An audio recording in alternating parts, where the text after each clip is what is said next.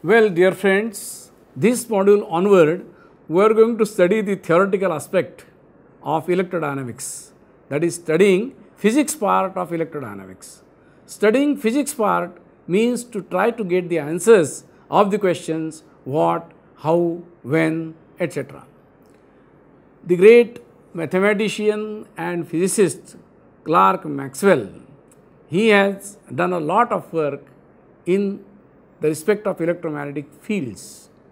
We should not iterate the fact that in electrodynamics we mainly study the electromagnetic fields and the related phenomena. Once I asked the question in the class, dear student friends, what is meant by electric charge? One of the students answered that, sir, electric charge is that something which produces electric field. The answer was noteworthy. I started thinking that can we not generalize this statement saying that charge is that entity which gives rise to force field. Accordingly, we can have gravitational charge giving rise to gravitational field, thermal charge giving rise to thermal force field, magnetic charge giving rise to magnetic force field, so on and so forth. Maxwell, with the help of his four differential equations and the equation of continuity, could explain practically every phenomena in the field of electrodynamics. The equations are quite marvelous.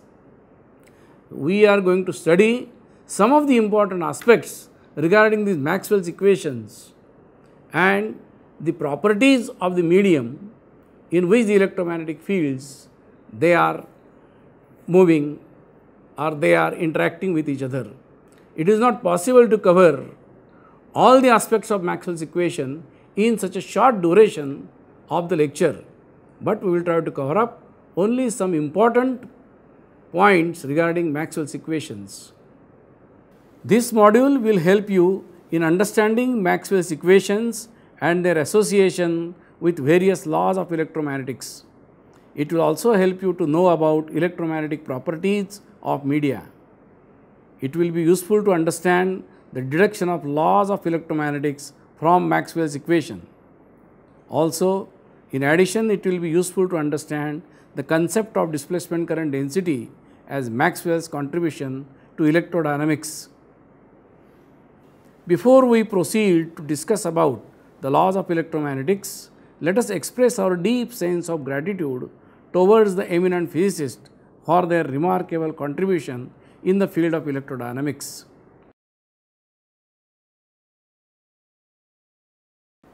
At the introductory stage, instead of using mathematical rigor, simple consideration of dictionary meanings, analogies, plain and independent thinking may be useful in understanding roughly the meaning of any term or concept in science. With this view, let us try to understand what is meant by field. Now think over the answer. Field is a region of space at every point of which we can associate a physical quantity. If the physical quantity is scalar, the field is called as scalar field. Vector physical quantity on the other hand will correspond to a vector field. The field is named after that physical quantity. Thus, we can have temperature field, pressure field, density field as the examples of scalar fields while velocity field, force field, etc. are the examples of vector fields. Then what is a force field? Force field is a region of space at every point of which we can associate a physical quantity force. That something which gives rise to the force is called as corresponding charge. Thus accordingly we can have a pair of gravitational force field and a gravitational charge. On similar lines, we can think of electric force field and electronic charge or magnetic force field and the magnetic charge. Can we think of a magnetic charge? Can a current carrying element be thought of being the magnetic charge? An electronic charge in motion is equivalent to a current carrying element. Answer to such questions regarding magnetic field are not so simple. It needs deep and careful thinking. Maxwell's equations relate electromagnetic force fields and the corresponding charge densities. Various laws of electromagnetics were established by eminent physicists long before Maxwell. Some of the laws are as listed here. Coulomb's law is one of the simplest but very fundamental law of electromagnetics. Maxwell's equations and their association with different laws of electromagnetics are as shown. Note the occurrence of divergence and curl of vector fields E, H, B and D in these equations. With the help of mathematical theorems discussed in the earlier modules, we can express Maxwell's equations in integral form as shown. Note that one has to deal with line integrals and surface integrals.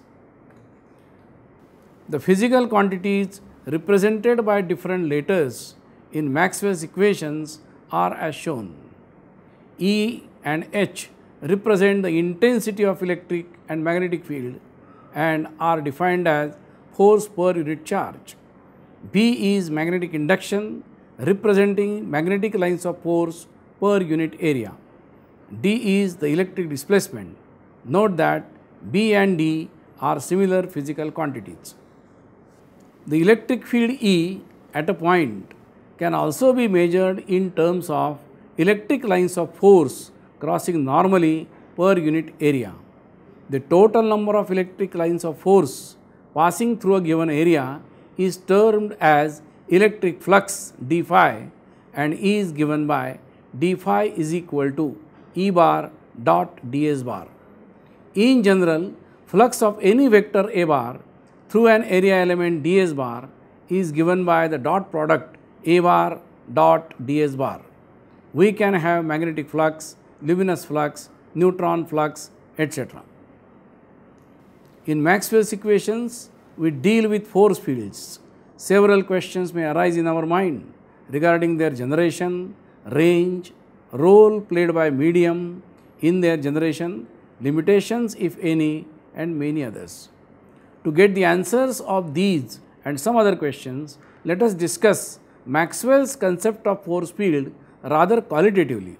It will be interesting to go through the historical and theoretical discussion made by Maxwell and many of the then physicists regarding this concept.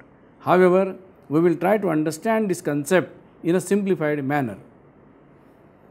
We have discussed some aspects about force fields in the beginning, but the main question is how the force field is set up.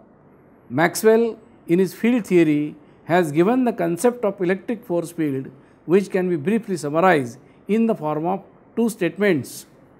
Statement number 1 If we place an electric charge at a point, it modifies the properties of the space surrounding it and produces its own field in the space surrounding it. Statement number 2 If we place a test charge from outside at any point in that region, the test charge experiences a force.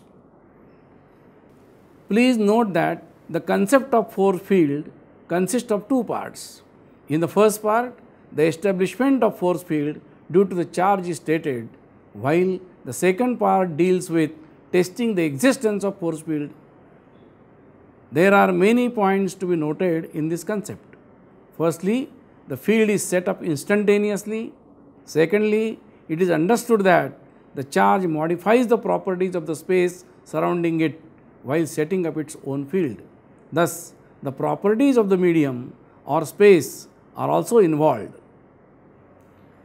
The space or medium have many types of properties such as thermal, electrical, magnetic, gravitational, etc. Out of these, which property is modified by the charge? The answer is simple. Only those properties are modified corresponding to the nature of the charge. Gravitational charge will modify only the gravitational properties of the medium. Similarly, electric or magnetic charge will modify only electrical or magnetic properties of the medium respectively. They will not change the gravitational or any other properties of the space or medium. Here we note that the electric charge will try to modify the properties of the medium and medium also allows to permit to change its properties. How to measure this property of the medium? For this, we define a physical quantity called as electric permittivity of the medium. It is denoted by epsilon and may be defined as the extent to which the medium permits to change its electrical properties due to the presence of electric charge is called as electric permittivity of the medium. Similarly, in the case of magnetic charge, we can think of magnetic permittivity. However, due to the elastic nature of magnetic field, we use the term magnetic permeability instead of magnetic permittivity. It is represented symbolically using a letter mu. Thus, the extent to which the medium allows to change its magnetic properties due to the presence of magnetic charge is called as magnetic permeability of that medium. On which factors do the permittivity and permeability depend upon? Definitely, they depend upon the medium. For different media, permittivity or permeability can be different. For a given medium, does permittivity depend upon the charge? Can any increase in the strength of the charge cause increase or decrease in the permittivity of the medium? Does it change with temperature? Just think over these questions. It is a big issue having theoretical importance in physics. Analogical examples always help in understanding the concept in physics. To understand the concept of force field, let us consider an analogical example. Listen, think and decide to what extent it can be useful. Let us consider the atmosphere in the classroom before the teacher enters the class. How is it? It is very good, joyful, isn't it? Well, friends, let us consider an analogical example of the students waiting for a lecturer for the lecture in a classroom. Before the lecturer comes or before the teacher comes, what is the atmosphere in the class? Very joyful. Students are going here and there, they are discussing with each other, they are peeping out of the window, etc. Very beautiful atmosphere. What happens when the teacher comes? As soon as the teacher enters the class, all these activities of the student they stop and everybody is attentive to the teacher. What teacher has done? Merely because of his presence, he has produced his own field in the class. Now, if a student is late, the latecomer student will have to ask the question, May I come in, sir? Why? Because that student understands that the teacher is present, his field is there, and that's why we cannot enter unless we take his permission. This simple example can be useful for understanding the two statements. Teacher, you treat it as a charge. The students in the class as medium. And changing the behavior of the students, that is, they are attentive to the teacher, that modification in the atmosphere, that is nothing but modification in the property of the space by the charge. The student who is late and who wants to come in from outside, he may be treated as a test charge. I hope that if you think over this example, you will understand the concept of force field. Assume the students in the classroom as medium. The analogy can be extended further to discuss about the nature and the property of the medium, range of force field, etc. Such analogies, though not 100% accurate, can be useful in understanding the concepts in physics. What are different types of media? In electromagnetics, we talk about different types of media such as free space, dielectric, conductor, insulator, semiconductor, etc. We use the term isotropic, linear, homogeneous, inhomogeneous, etc. as regards the nature of the media. We define various types of physical quantities to account for various types of properties like permittivity, permeability, susceptibility, polarizability, conductivity, mobility, etc. Let us try to understand the meanings of some of them. What is meant by free space? In electromagnetics, it is assumed to be a space which is free of electromagnetic and gravitational force fields. Can we really have free space? The answer is no. However, for all practical purposes, vacuum may be taken as a free space. The electric permittivity of a medium is denoted by epsilon and the electric permittivity of free space is denoted symbolically by epsilon naught or epsilon 0 whose value is 8.85 into 10 to minus 12 farad per meter. The magnetic permeability of a medium is denoted by mu. The magnetic permeability of a free space is symbolically represented by mu naught or mu 0 and has a value mu 0 is equal to 4 pi into 10 to minus 7 Weber per meter. Iron, nickel, cobalt are examples of magnetic materials. Dielectric material. It is a material having property of transmitting electric force from one point to another without conduction through it. Glass, wood, paper, air, mica are some of the examples of dielectric materials. The ability of the dielectric to transmit the electric force through it without conduction is measured in terms of its dielectric constant K which is defined as shown and is a dimensionless quantity. Dielectric constants of some materials are as shown in the table.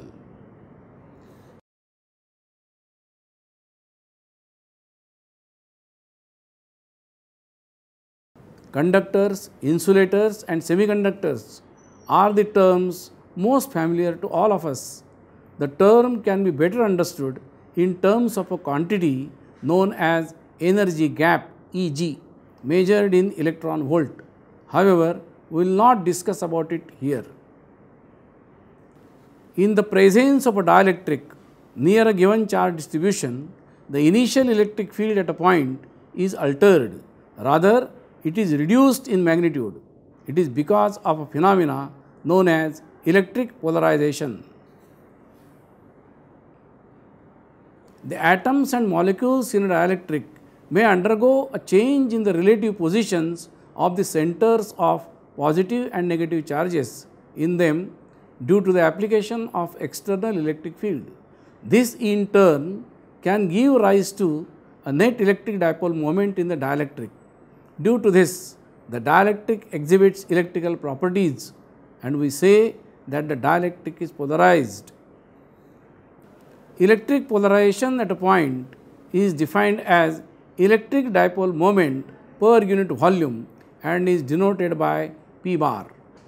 SI units of P are coulomb per square meter. The three vectors D, P and E are related through the relation D equal to epsilon 0 E plus P where D is called as electric displacement vector. The electric dipole moment per unit volume is taken to measure the average polarization.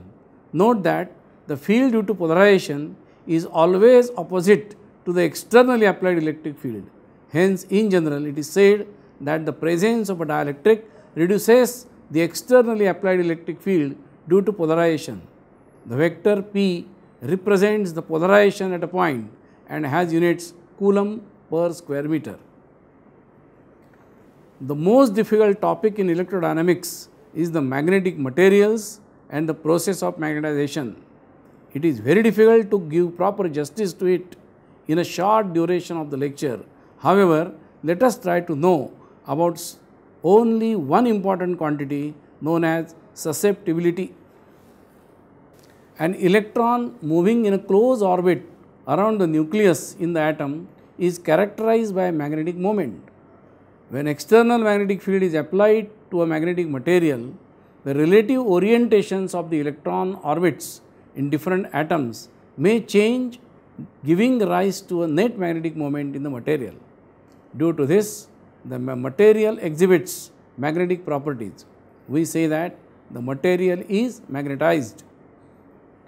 The electrons in atoms and molecules in a given material may give rise to net magnetic dipole moment when placed in external magnetic field. If the net dipole moment in the material is non-zero, then the material will exhibit magnetic properties. We say that the material is magnetized. The magnetization due to the application of external magnetic field can be measured with the help of a vector m defined as net magnetic dipole moment per unit volume and is called as magnetization. Besides the applied magnetic field, the magnetization will depend upon the nature of the material. It is given by m is equal to mu 0 h into chi m, where chi m is magnetic susceptibility of the material. SI unit of m are same as the magnetic induction B. Magnetic induction B, the applied magnetic field H and the magnetization M are related as B is equal to mu 0 H plus M. Magnetic susceptibility is defined as the extent to which the material can be magnetized due to the application of an external magnetic field H. Magnetic susceptibility can be positive, negative or 0. The magnitudes also can be very low, medium or very high and may vary with temperature or the process used for material fabrication. Accordingly, we have different types of magnetisms and magnetic materials namely diamagnetic, paramagnetic, ferromagnetic, antiferromagnetic etc. The third type of material known as ferromagnetic material has been of much more importance due to its practical applications. The magnetic susceptibility is positive and have remarkably large value and can be increased further by adopting fabrication process. The main characteristic features of ferromagnetic materials are spontaneous magnetization, saturation limit of magnetization, Curie temperature and hysteresis. Ferromagnetic materials are characterized by phenomena known as hysteresis. When sinusoidally time varying field is applied to the material, the variation of B with H gives a closed loop as shown. The ferromagnetic materials are very sensitive to temperature. One point to be remembered is that electrical susceptibility chi e is always positive, while magnetic susceptibility can be positive or negative. So far, we have discussed about some electromagnetic properties of materials.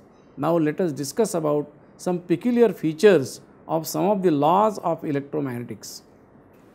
The first concrete step in the study of properties of electric charge was Coulomb's law. With the help of experimental observations, made using a torsion balance, Coulomb put forth his first law in electrostatics. Statement of the law is as shown and is well known to us.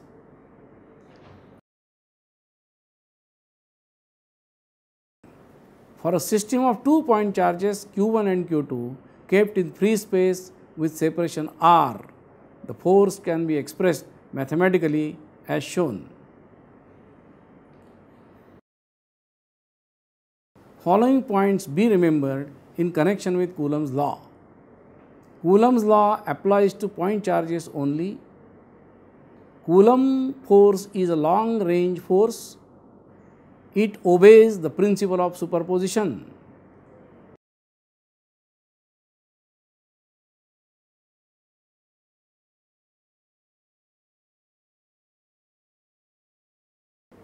What is a point charge? We know that a point has existence but no measurable dimensions. Can we think of a charge entity satisfying this condition? Definitely not. However, if the dimensions of objects on which electric charges are present are very small as compared to the separation between the objects, then the charge distributions may be treated as point charges.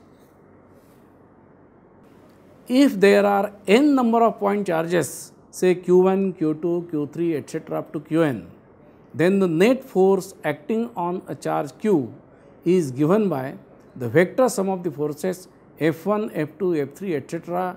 up to Fn on q due to the individual charges. This is nothing but principle of superposition. Each law of electromagnetics has some peculiar features of its own. It will be worth noting to have a look at them.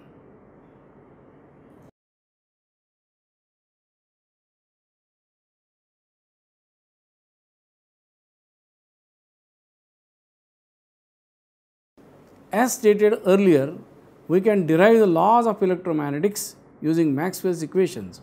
As an example, let us see how Coulomb's law can be derived from Maxwell's equations, namely del dot D equal to rho. Integration over volume V followed by the use of Gauss divergence theorem yields the result integral d dot ds over the closed surface S is equal to q1 with d equal to epsilon 0 e, we get epsilon 0 into integral E dot ds over the closed surface S is equal to q1. Then selecting Gaussian surface S in the form of a sphere of radius r, we get the expression for E bar as shown. E bar at r bar is equal to q1 upon 4 pi epsilon 0 r square. Hence, the force on point charge q2 due to q1 is given by F is equal to q2 into E that is q2 q1 upon 4 pi epsilon 0 r square. By using Maxwell's equation del cross E is equal to minus dabba B by dabba T, we can derive Faraday's law of electromagnetic induction namely E equal to minus d phi by dt. The mathematical operations include use of surface integral followed by the application of Stokes theorem and the definition of electromotive force. From Maxwell's equation del dot B equal to 0, we understand that at any point the net magnetic flux per unit volume is 0. The magnetic lines of force are assumed to be originating from some magnetic pole. Hence, zero divergence implies the fact that magnetic monopole does not exist. For every north pole, there is equal and opposite south pole. The significant contribution by Maxwell is the modification in the old form of Ampere's law with an addition of the term dabba d bar by dabba t known as displacement current.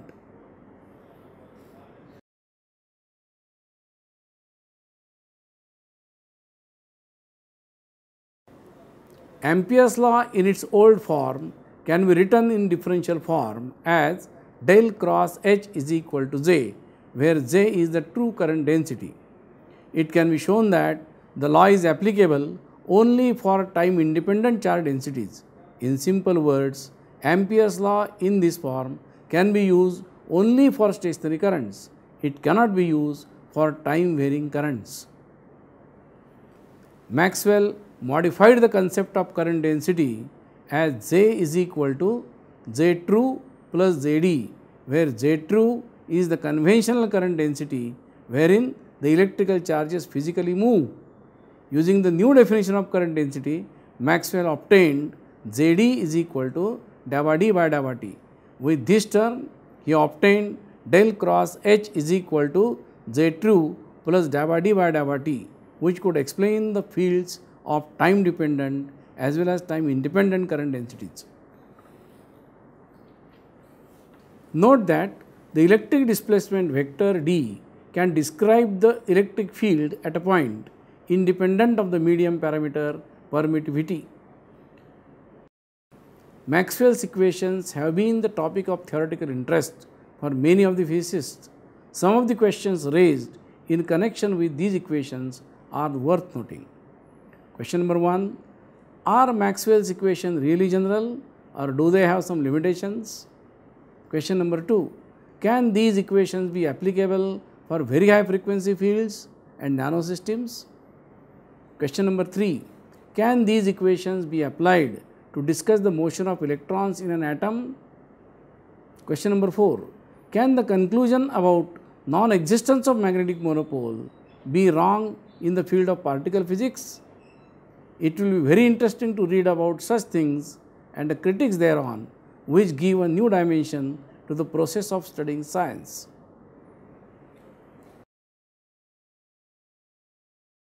Friends, it is very difficult to discuss about Maxwell's equations from all corners in a single lecture.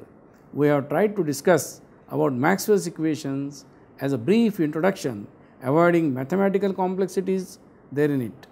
So, study Maxwell's equations further in much more detail.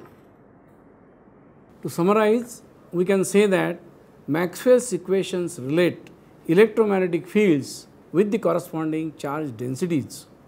By using mathematical theorems, we can derive all electromagnetic laws with the help of Maxwell's four equations and the equation of continuity. Maxwell's equations can be used to explain all the phenomena in the field of electrodynamics.